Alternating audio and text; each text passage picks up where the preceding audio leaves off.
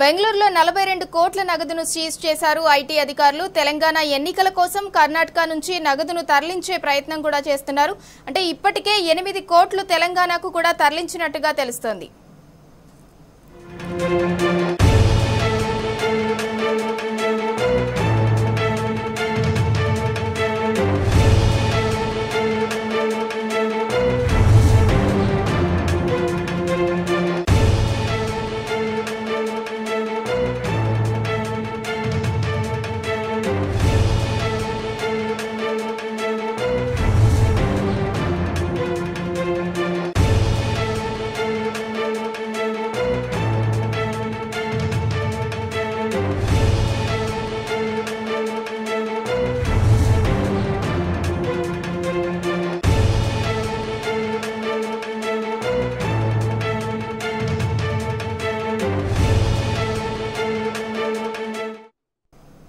బెంగళూరులో నలభై రెండు కోట్ల నగదును ఐటీ అధికారులు సీజ్ చేశారు. ఇక దీనికి సంబంధించి మరింత సమాచారం మా ప్రతినిధి భాస్కర్ అందిస్తారు. భాస్కర్ చెప్పండి.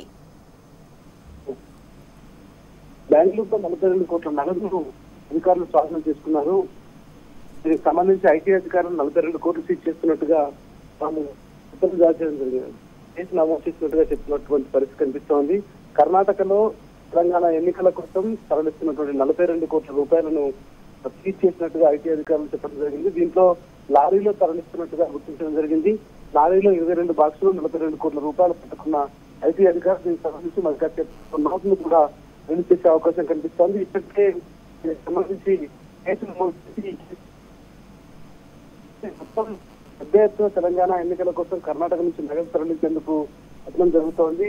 ఎన్నికలు నగర మోగినటువంటి వేళ పూర్తి స్థాయిలో తెలంగాణలో డబ్బులను ఏర్లై పాలించడానికి వివిధ కాంగ్రెస్ పార్టీకి సంబంధించినటువంటి నాయకులు అక్రమాలకు తెరతీసినట్టుగా తెలుస్తోంది. ఇది కాంగ్రెస్ సంబంధించినటువంటి నాయకులు తెలుస్తోంది. ఐటీ అధికారులు మొత్తానికి కేసులు నమోదు ఇది దీని దీనికి సంబంధించినటువంటి పూర్తి లెక్కలు బయటపెట్టేటువంటి అవకాశం కనిపిస్తుంది.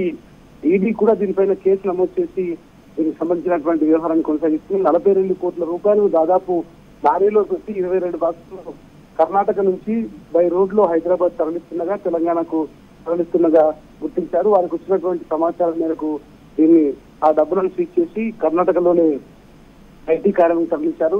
ప్రధానంగా తెలంగాణలో ఎన్నికల నగర మోగినప్పటి నుంచి కూడా తాము అనేక రకాల కుట్రలు తరలిస్తున్నామని చెప్తున్నటువంటి కాంగ్రెస్ పార్టీ ఇవాళ అది కళ్ళ నిండా కనిపిస్తుందని పరిస్థితి కనిపిస్తుంది ముందు రోజు నుంచి కూడా ఎప్పుడైతే ఎలక్షన్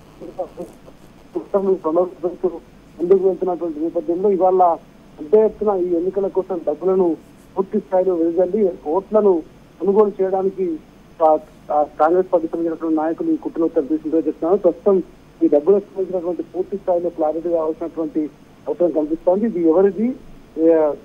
ఆ పర్సన్ ఎక్కడి నుంచి దీన్ని తరలిస్తున్నారు? దీంట్లో ఎవరెవరికి వాటా ఉందన్నటువంటిది ఐటీ అధికారులు పూర్తి స్థాయిలో దాన్ని బయటపెట్టే అవకాశం కనిపిస్తుంది. మరోవైపు హవాలా మార్గం ద్వారా దాదాపు నలభై రెండు కోట్ల రూపాయలను తప్పిస్తున్నటువంటి వ్యక్తులకు సంబంధించి ఈడీ కూడా కేసు నమోదు చేసింది. ఈ మొత్తం డబ్బులని సీజ్ చేసి దీనిపైన కేసు నమోదు చేసి అదుపులోకి తీసుకున్నటువంటి లారీ డ్రైవర్తో పాటు మరొక వ్యక్తి విచారిస్తున్నటువంటి సందర్భంలో ఇంకా దీనిపైన లోతైన విచారణ కొనసాగే అవకాశం కనిపిస్తుంది కాబట్టి నలభై రెండు కోట్ల రూపాయలను సీజ్ చేసి లెక్కాపత్రం లేకుండా వీటిని తరలిస్తున్నారు. ఇవి తెలంగాణకు తరలిస్తున్నట్టుగా లారీ డ్రైవర్ ఇచ్చినటువంటి ఇన్ఫర్మేషన్ ఆధారంగా బయటపడడం జరిగింది.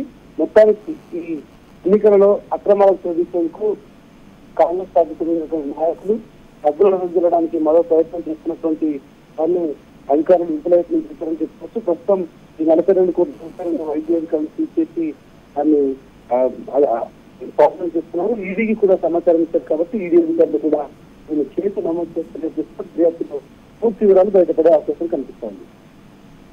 Right thank you Bhaskar